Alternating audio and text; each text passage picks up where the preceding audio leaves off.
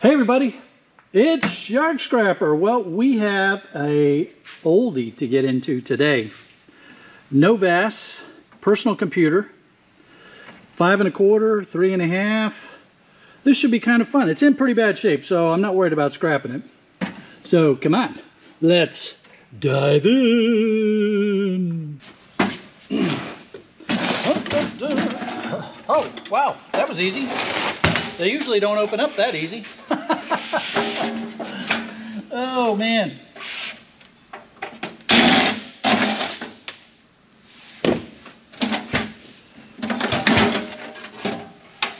All right. And set that shell aside. I don't know if we're going to close this one up or not. We'll set the screw aside too, just in case we decide to close it up. So we have this is not a slot card, it's just some connectors. That's pretty common in the older PCs to find these. You can put those with, after you take them out, uh, take them off of this bracket, and then those can go in your gold connector ends.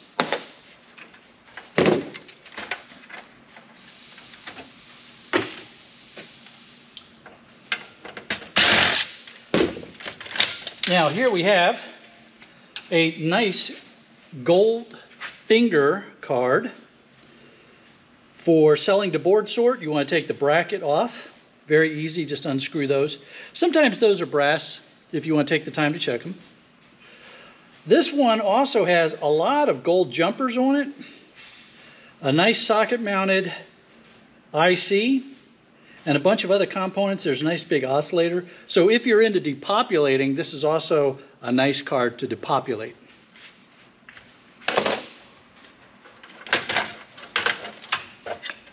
Piece of plastic. All right, power supply.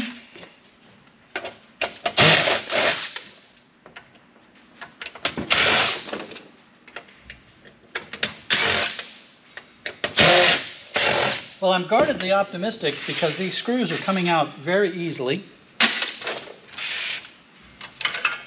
Hopefully that will continue.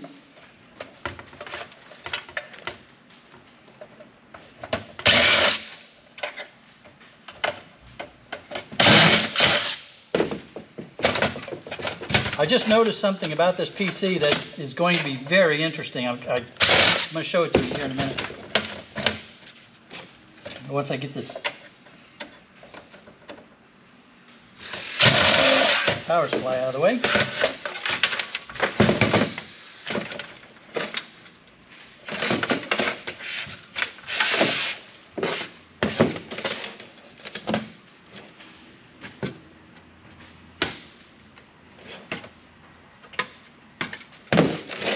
All right. Look at that. There was no heatsink, no heatsink on the CPU. And look at what kind of CPU that is. That's so weak. Here, let me show you close up once we get it out of here.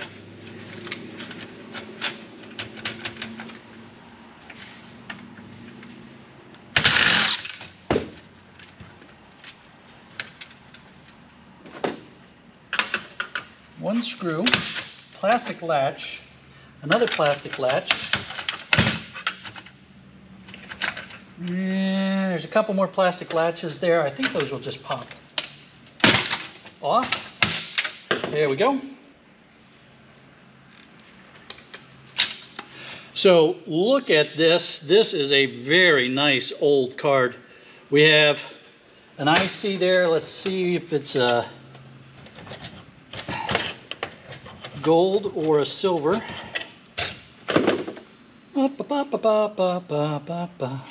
Yeah, I don't see any gold inside of there. But that's socket mounted, so you can take that off. We've got this 486 Texas Instruments. That's in really good shape. Now, what's interesting about this is it doesn't take up all the pins in the slot. You see that outer row of pins? Let's be careful here because this one's really nice. This one might be a collector.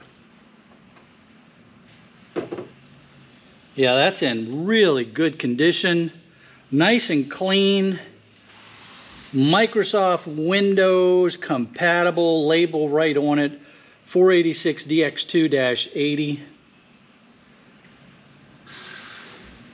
Very nice. The gold pins are all in really good condition. So I think this might be going in my collector's bin.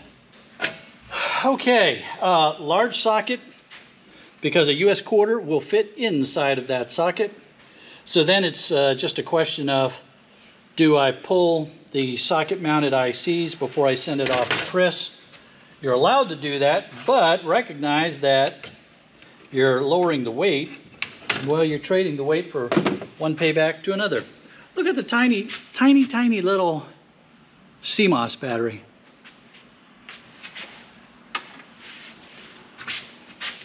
All right, that, that's just a beautiful, beautiful card. Very nice. All right, now we have the five and a quarter inch drive. And I think you can see there that there's gold fingers there. I don't normally mess with these, but that's got, looks like a decent board on it. So we're gonna go ahead and get in there and pull that out. Let me get this wire out of here real quick.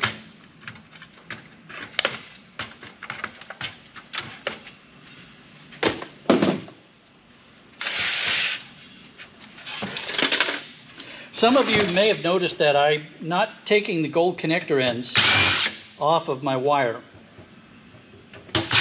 There's a couple reasons for that. One, my local scrapyard that buys my wire does not require that I remove the ends off of the wire for my number two. And they still pay me a really good price for number two, so uh, no concerns there.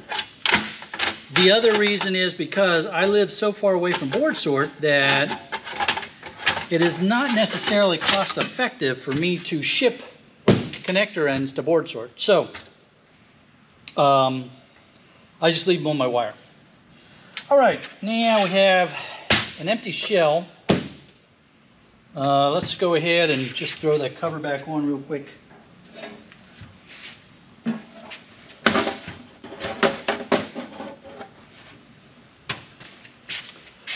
All right, now This drive, I don't normally mess around with these things. They normally just go to the shred. But I'm curious about this board because it's got gold fingers on it.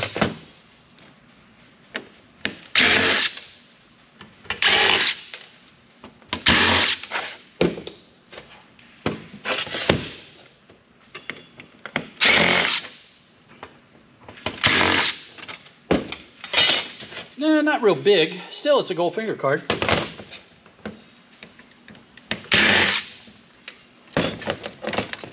Easy enough to get to.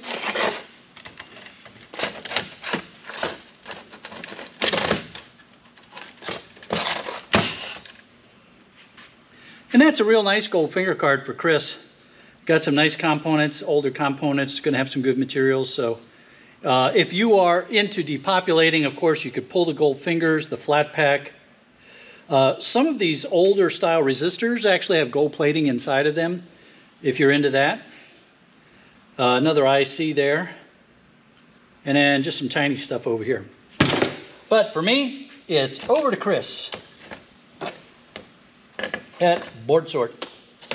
We're going to go ahead and get this motor off since we're here.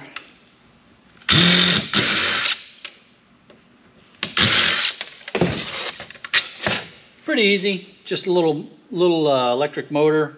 Get that spindle off of there. Should come off pretty easy.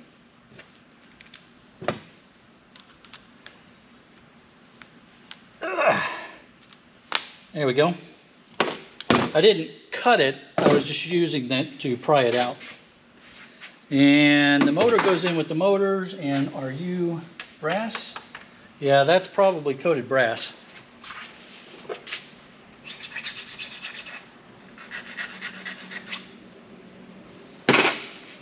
So that's brass. We have a nice piece of copper right there.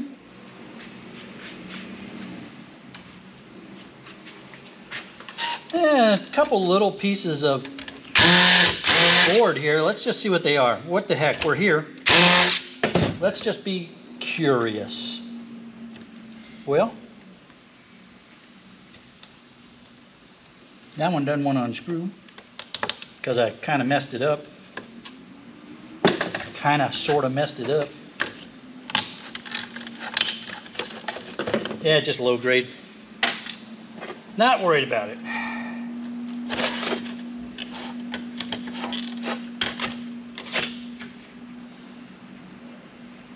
Get the wire off of there. Into the low grades. In with the wire. There is one more motor here. Let's see. Maybe those screws, I might be able to get that. I'm going to go right with the screwdriver on this. Not the electric power driver, but the hand screwdriver. and see if a little more delicate touch will work with it.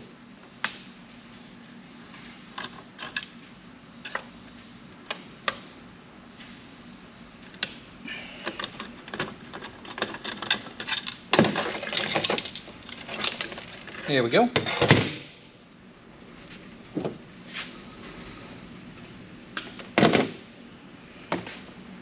Nice motor to throw in your motor bucket.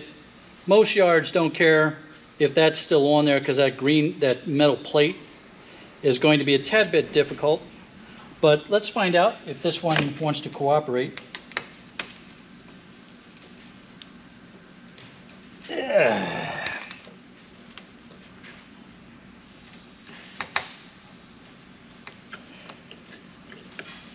Ah, very sneaky. So because that screw was on a motor, it was a reverse thread. Very interesting.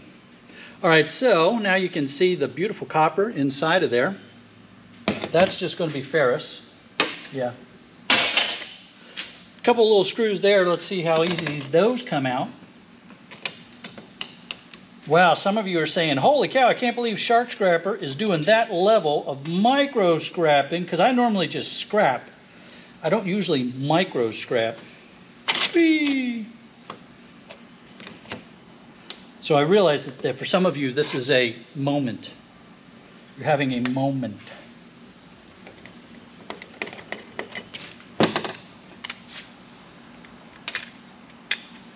All right.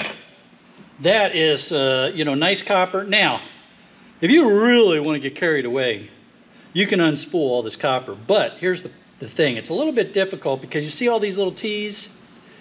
Um, those don't break off real easy, if they break off at all.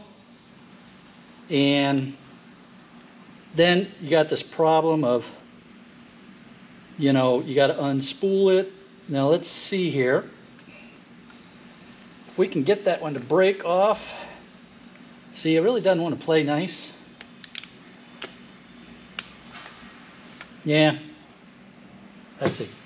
Ugh even when we get it to break off nice, now we've goobered up the copper a lot. So I'm just throwing that in with my copper motors.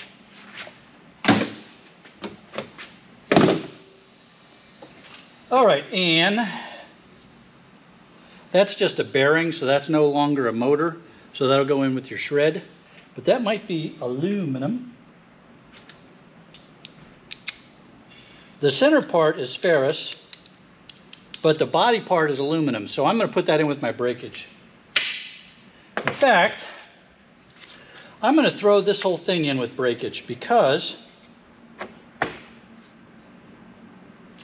let's see, we might, right now this is definitely breakage, but we might be able to clean it up relatively quickly here for the aluminum. Maybe. We'll see. Uh, again, I know y'all are saying, whoa, what's going on? Is Shark feeling all right? Scrapping to this level? The sacrifices I'm willing to make for you.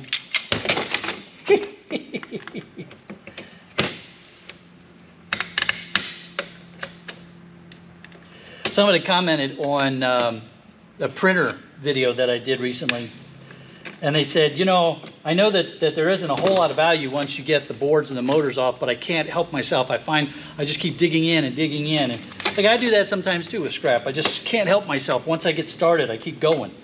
It takes a certain amount of discipline to say, no, stop. All right, so that came off pretty easily. Now we've got cast aluminum here. One, two things left to get off of here. Let's see. Yeah.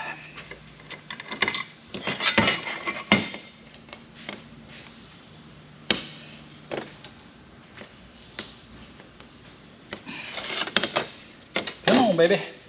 Come on, baby.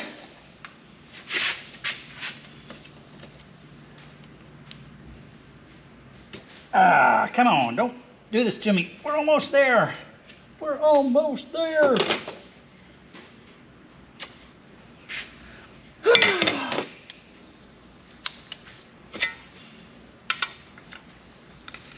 Ha ha ha. Thought you were going to beat me, did you? No way, screw. Okay.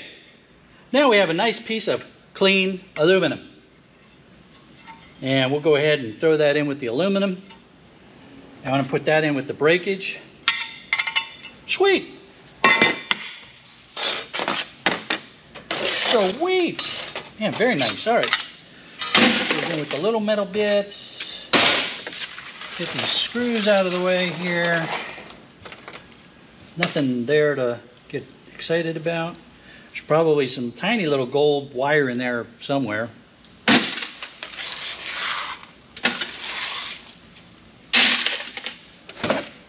Power supply, we're just going to cut that cord and put that in with my power supplies with no wire. If you want to understand the math behind that decision, I have a video on that. I'll link it. Oops, that was stupid. Come on, shark. What are you doing here?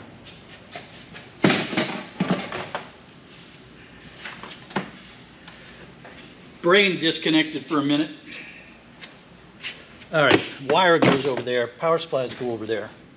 That's what I get. See, I, I start talking sometimes, I can't think. Help me, I've started talking and I can't think. All right, everybody, that was a fun scrap. Uh, so remember, power supplies, return on investment video. Uh, it's either going to be linked there or it's going to be at the end of the uh, video, maybe in both places to help you find it.